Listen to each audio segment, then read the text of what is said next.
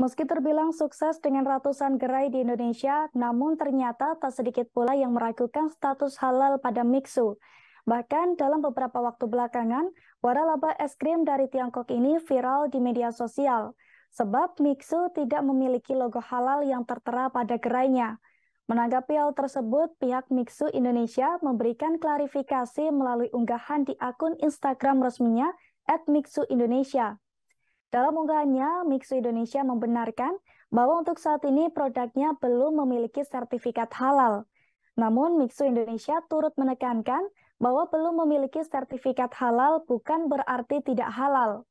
Mixu Indonesia juga menambahkan bahwa penyebaran informasi yang mengatakan Mixu tidak halal merupakan tindakan kurang bertanggung jawab dan sangat disayangkan.